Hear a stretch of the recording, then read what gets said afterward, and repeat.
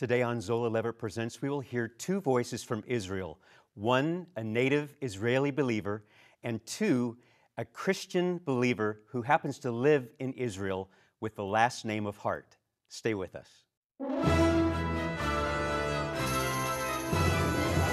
Brethren, my heart's desire and prayer to God for Israel is that they might be saved. For there is no difference between the Jew and the Greek, for the same Lord over all is rich unto all that call upon him. Zola Levitt presents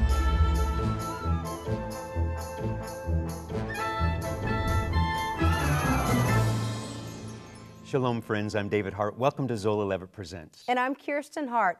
We have a great program for you today. Sarah Liberman, who is our Hebrew teacher here on the program, I got to interview her. You did. A while ago, and I learned this about Sarah that she is what they call a Sabra, which means she was born in Israel and lived in the United States for a while, and her, her Hebrew is amazing, but her English is spot on too. I didn't even know that she could be fluent in both. I mean, she's just amazing. She is. We sat down with our son Ryan Hart, who lives in Jerusalem, and got his perspective on what it's like living in Israel. We also have Dr. Jeffrey Seif with us. He'll be with us later on in the program. Let's go to our son Ryan right now, Ah. where we got to talk to him about life in Israel. Here's Ryan.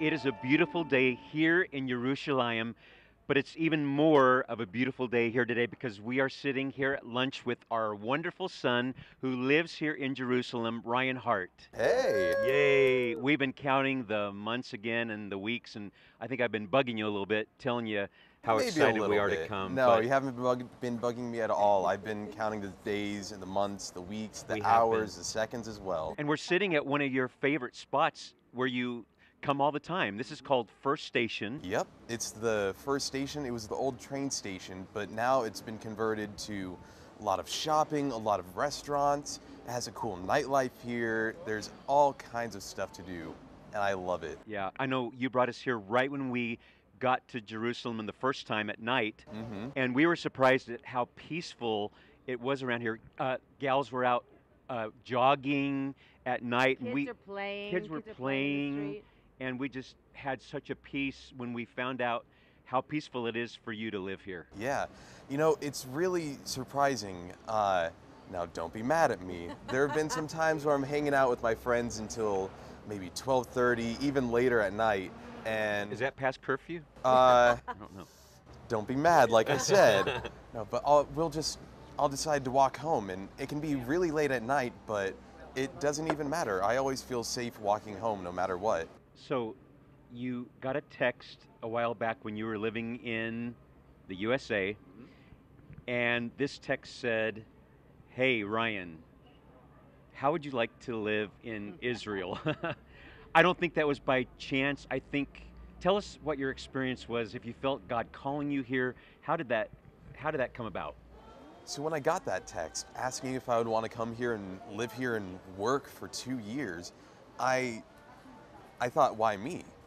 But it really has been God working through everything. Like I see that in just the opportunities that I've been given.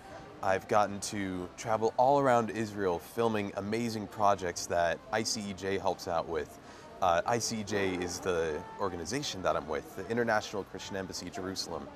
And I've just been able to make so many connections with people here in the land and even outside of it. Just people who come here for tours, they're here for a day, a week, a month, a year, even more. I get to meet them at the young adults group that I go to with King of Kings. Yeah, tell us about your church. Yeah, I go to King of Kings. It's a uh, it's a church in Jerusalem.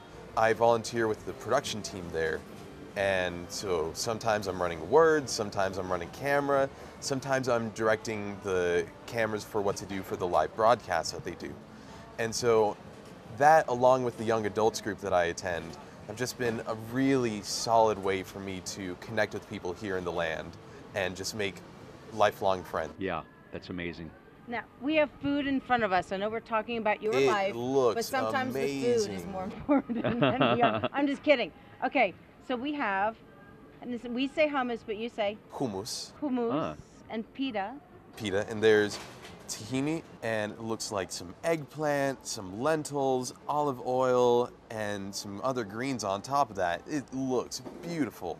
Take your bite, cause I'm digging in. Yeah. Let's go. dig in I'm a little going bit. in and Mm. Oh, we don't have that in the states. mmm. Oh, that is so smooth, isn't it? It's really amazing. That is so good. Mm. Okay, so when you come to this restaurant, what do you usually order?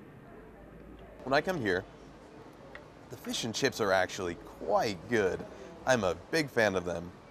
And but there's really anything here. All the restaurants here at the first station are great, and you have a huge variety. There's Asian restaurants, there's uh, traditional Israeli food, there's burgers, there's baked potatoes. There's really all but kinds the of burgers don't have cheese on it, right? Burgers don't have Ah, cheese. There's That's where they difference. get you. I want to go. mm, I want to go back real quick to like what you're doing here Yeah. in Israel.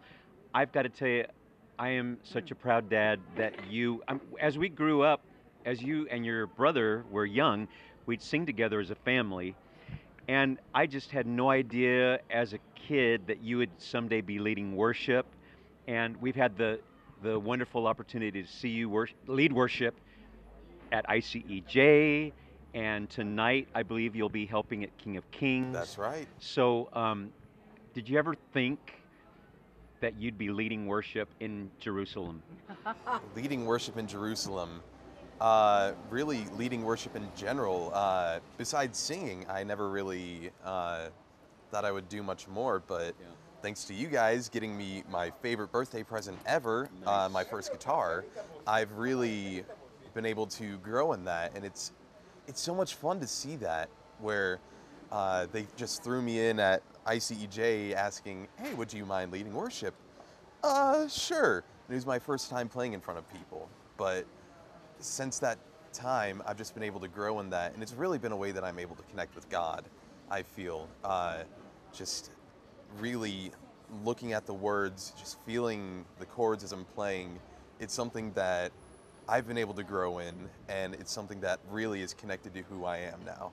I, well, I was going to say something. I know the answer, but has your spiritual life grown since you moved to God's holy land? No. of course it has. Of course it has. Really, nobody comes to Jerusalem unless God calls them. And so, in my time here, there have been times of struggles where it's really, I question, why have I been called here? But then God answers that with his perfect timing of just showing me whether it's hanging out with friends and someone like just says something really encouraging to me, or if it's during a shoot where uh, I'm just able to share what someone is saying, and it just really impacts me. And so, my prayer life with just walking the streets and praying for the peace of the city, just praying for you guys. I pray for you guys a lot. Oh, we do too I'm every day so- for you. I'm so excited for where you guys are, are in life. It's super exciting to see this. But just uh, praying for you guys, for Tyler and Carrie, for just friends back home. It's just, I really feel God moving here. And it's fun to feel that and let it elevate me. I, I had one of those aha moments yesterday. We've been here now to Israel three times, and every place that we go, I just want to stand there and and soak it in. We're in Shiloh. We're we're at the Western Wall. We're at different places, and I I just wanted to absorb it. And yesterday, as we were filming, I'd watch people just walk by these places like it was just natural to them Yeah. and all of a sudden i started to feel that like oh yeah we're here and there it's because we feel like we're home when we're here Yeah. and i know that that's how you feel is it still does it still just is it unreal that you're living in in god's land I still wake up every morning in awe that I'm living here. but it feels natural It's- It's a weird mix of natural and just almost a sense of reverence like, wow, why me? Why am I the one who's able to be here? Uh, and so, like, yeah, friends and I will just, hey, you want to walk to the Western Wall, to the hotel? Yeah, sure. Hey, you guys want to go to a prayer house? Yeah, sure. And we're walking in the old city. We're walking where Jesus walked. And then we'll just stop and get falafel somewhere. Right. It's this strange, it almost snaps you back to reality. Yeah. Like, wow, this is where I live. Right. But there's so much history here. There's so much to this city, to this land, that it's absolutely incredible. That's great. God, call, I know you were about to say something. Go something, ahead. but it's, it's amazing. God called you, and then He opened up the door for us for Zola Levitt. It's So, amazing. Uh, we never dreamed that God would use the Hart family in Israel, but we're just Right. vessels and tools, and and we're just so thrilled that God is using you. I mean, it's when you're a parent one day and your kids are being used by God, you'll see, you'll get it. Just like God is using our son in the Holy Land, and you're doing so much for the people here. And It's just pretty neat. Amazing. It's pretty neat. Finally, we're having lunch with you Yeah. in Jerusalem. I think our lunch is about here, and after we eat, we're going to sing a song. Let's do that. Great.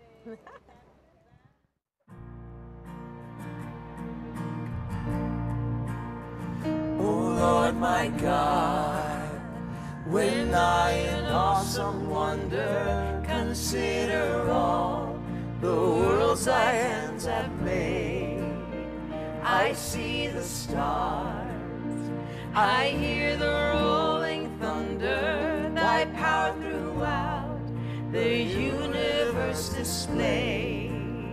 Then sings my soul, my Savior God, to thee. How great thou art,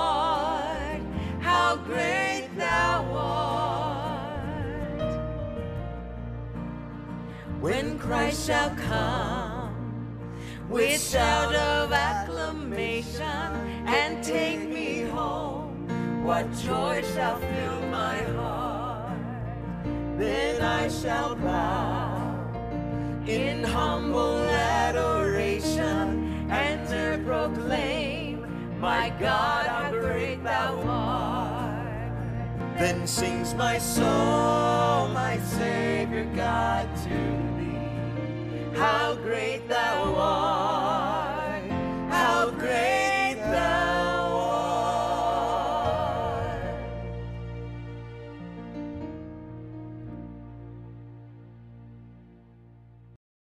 We've had a lot of interviews on this program, and I've got to admit that was my favorite of all. I would agree. He's an adorable person to interview. Yeah, we're excited too that he just called us and said that he signed up for a third year to volunteer at the Christian Embassy. He's He busy boy. He loves it there. He loves Jerusalem. Yeah. Thank you for watching our interview with our boy. Stay with us.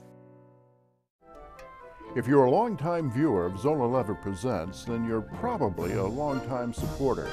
And I just want to say thank you, as you know how important your donations are to keep this ministry on the air. If you're a new viewer, I'd like to talk to you for just a moment. It's very important that you remember that the only way that we can stay on the air is through your donations of support. Please remember us monthly, and thank you. Are Gentile believers meant to adopt the Mosaic Law? Is there a separate salvation covenant for Israel that removes the necessity of faith in Yeshua? Eitan Shishkoff tackles these questions and more in today's resource, What About Us? In this book, Eitan uncovers concrete scriptural evidence of God's original plan for Jews and Gentiles to become one in Messiah and work together for salvation of national Israel.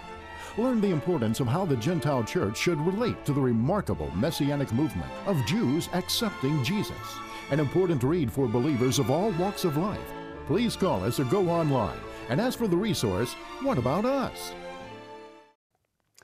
We have some great folks that are a part of our team, and we thank you for allowing Chaim Mailspin, who we love, Sarah Liberman, to be a part of our ministry. It's because of your financial support, and we thank you for that. Recently, I had the opportunity to sit down with Sarah one on one and discuss parts of her life and her faith in Yeshua. Here's that interview in Jerusalem. Sarah, we are so excited that you are our new Hebrew teacher on Zola Levitt Presents. Now, you're Israeli. Yes. Correct. I was born here in the land, actually quite far north, north of the Sea of Galilee, in a little town called Safed. And have you lived there your whole life? No, so I when I was a little girl, we lived in the north of the country and then we moved down here to Jerusalem and I lived here and then now we live on the coast by the city of Caesarea. So I've kind of moved around. I still haven't been in the Mediterranean. I need to swim in the Mediterranean. we you need to come to your house. It's nice just and want- warm. I know I heard. So have you lived in Israel your whole life? I've lived here most of my life. I actually married an American and we lived there for a while, but we live here now with our children in the land. And what are you doing here? I am a worship leader and Okay. a recording artist, and so I spend my time um, just in worship, um, leading in different conferences and different things that happen here, and also I travel abroad as well. Now, I'm a mom. You're a mom. Also, tell us real quick about your kids. We have three amazing kids. We have twins, a boy and a girl, and they're 10, and then we have another boy, and he's eight. Tell us what is happening. I know in the Galilee there are a lot of messianics coming together. Can you tell us what you see happening in the land? I think that one of the main things that are happening today in Israel is we're seeing an emergence of worship in times of prayer all across the land. And this is unprecedented. I grew up here. I know what the body was like. We were small, we were few in numbers, and we weren't as bold, I think, in our expression. But today I see just even the generation of our children growing up with, with a confidence in their identity and who they are. As our youth have gone into the army, they have become exemplary soldiers and have been known as messianics. And it's really lifted kind of the perception and the, the knowledge in the Israeli society of the messianic movement. So, do you feel that the messianics here, the believers in Yeshua in Israel, are being more accepted by the traditional Jewish culture? I think that we are living in a time like we have never been living before in this country. I see an openness in the larger Israeli society that we haven't had before. In the north where we live, people are coming to faith. People are being healed on the streets. It's incredible.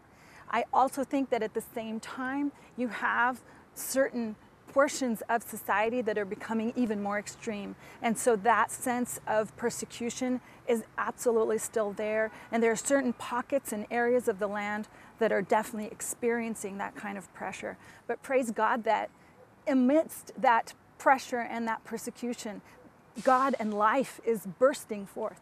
That's one of my favorite words here is the chai. It's great life. It's amazing life. Just real quick before we end, for the people watching in America, what do you want from us as a believer in Israel? What do you want of the church? Probably the most significant thing that we need every day is prayer. It's the currency of heaven, right?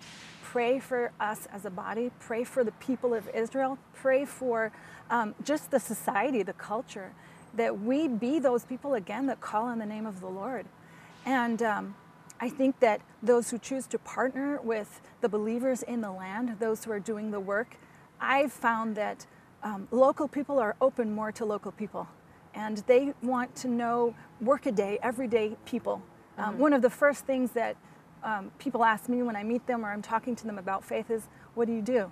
You know, they want to know that people are working regular jobs and part of society. And, you know, we live here, we pay taxes, we mm-hmm. celebrate the holidays, we send our kids to school. We're living our regular, normal life here, just being a light as we go through our day.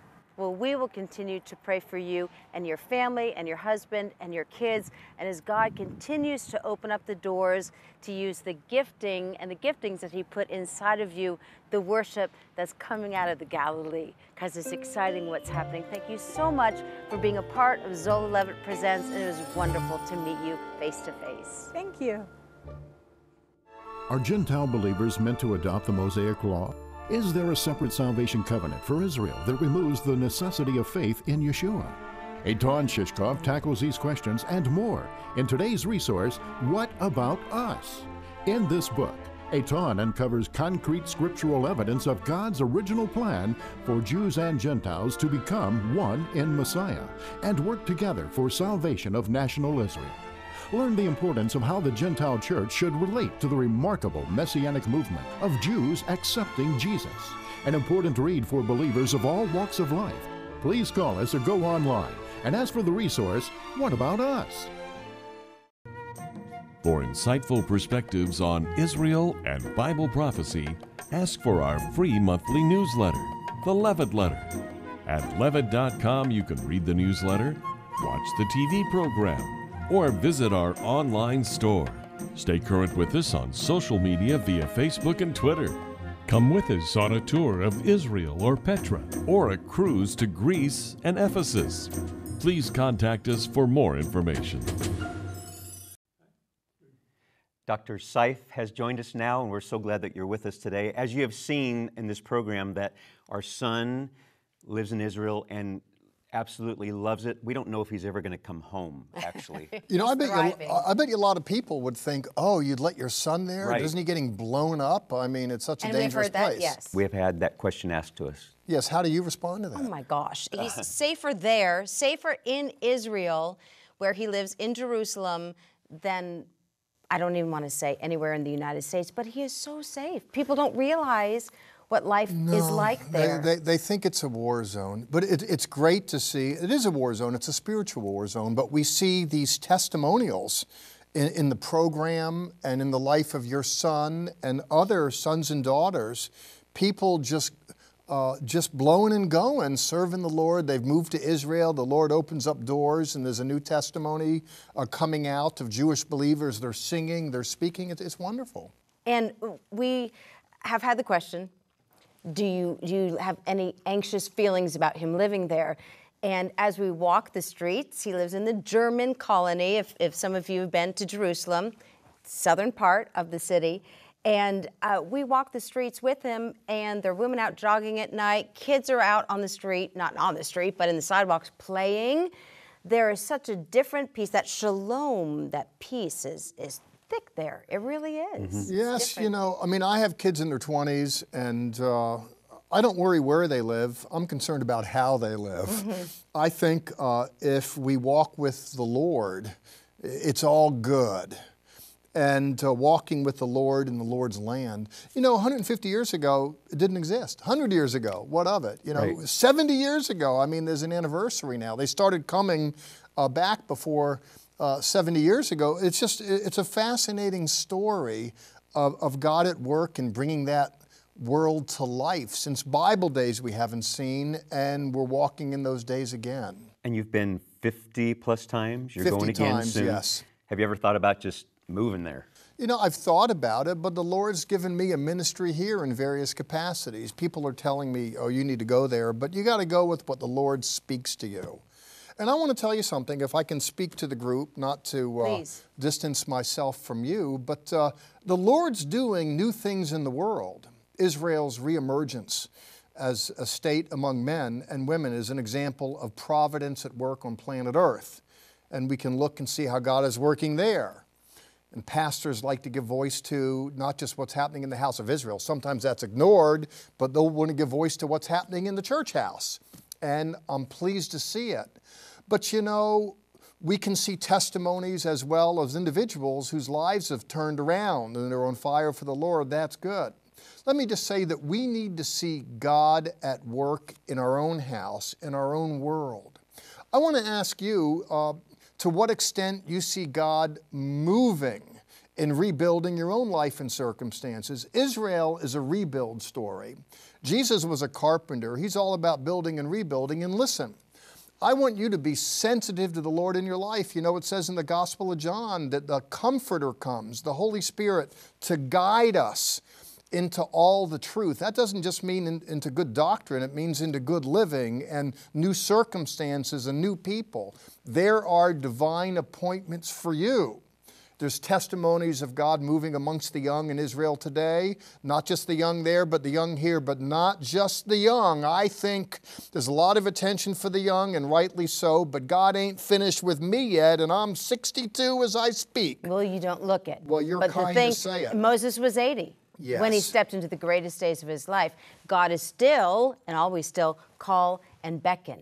Right. We can think that the best days are behind us now, and then, oh, come, sweet Jesus, and take me out of here.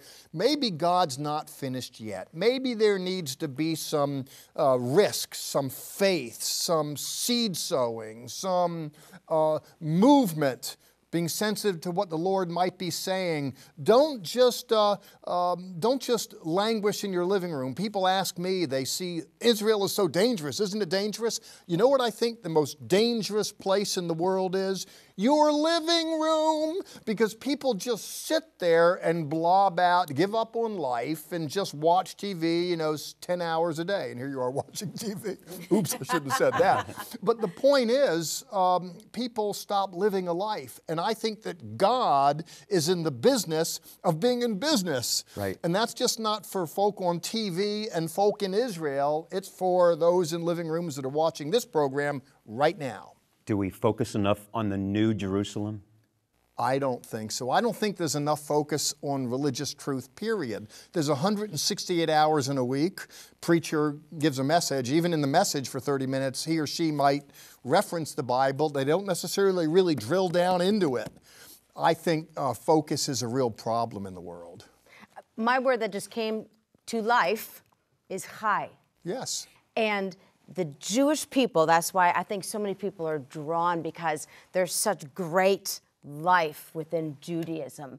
And Christ is life. So you combine the two, and that life and what God wants to do through us still is strong and powerful as God woos his people to his people, you, and to the country. He's also wooing and calling us into his heart to give life more abundant than we could ever imagine. And do you know what the Jewish toast is? L'chaim. L'chaim. To life. That's toast, not as in, uh, do you want butter on it, but as in to That's life. L'chaim. Yes, Love it. that's uh, it's beautiful. Thank you so It much really for joining us in, in what we're trying to do and reach people for Yeshua, Jesus. Yes. To make him Lord of your life. He is Lord of our lives and he has changed our lives. Yes, and help us change others. By the way, your donations really help. I know, you know, people don't like financial pitches. It's a 30-minute program. I might spend 30 seconds on it at that, but please. End our program today. Yes. Psalm 122, verse 6. Sha'alu Shalom Yerushalayim.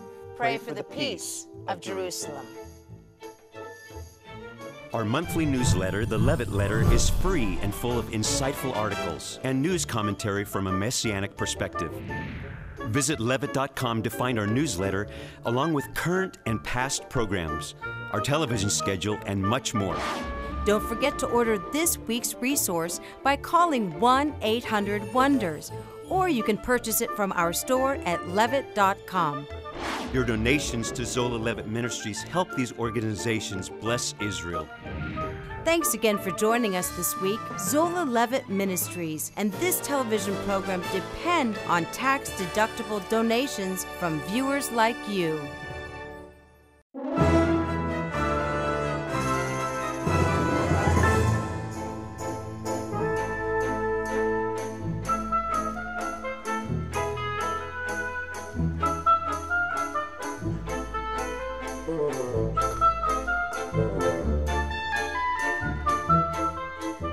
This has been a paid program brought to you by Zola Levitt Ministries.